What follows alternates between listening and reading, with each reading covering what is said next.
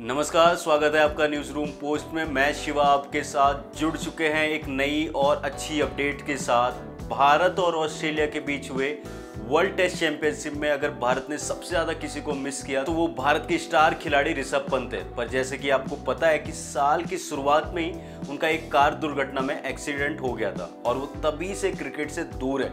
उनका इलाज काफ़ी समय तक चला और वो अब बेंगलोर के एनसीए में जहाँ पे उनका रिहेबिलिटेशन चल रहा है। और काफ़ी समय से वो बीसीसीआई की मेडिकल टीम की निगरानी में और अब उनका वीडियो जो सामने आया वो सबको हैरान कर रहा है। उन्होंने इंस्टाग्राम पे दो वीडियो शेयर किया है, जो एक वीडियो है कुछ महीनों पुरानी, जिसमें उनको सीढ़ियों पे चढ़ने में काफ़ी परेशानी हो रही है। और दूसरी वीडियो उन्होंने शेयर करी है, जिसमें वो सीढ़ियों पे चढ़ते हुए काफ़ी सहज नज़र आ रहे हैं और वो बहुत आराम से सीढ़ियों पर चढ़ते हुए दिखाई दे रहे हैं। वीडियो को देखकर भारत के करोड़ों फैंस में खुशी की लहर दौड़ उठी है कि उनको उम्मीद है कि वो जल्द वापसी करते नज़र आएँगे।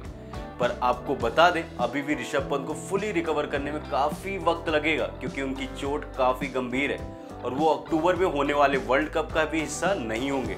उम्मीद जताई जा रही है कि वो अगले साल होने वाले आईपीएल से वापसी करते नज़र आ सकते हैं। इससे पहले वापसी करना बहुत मुश्किल है।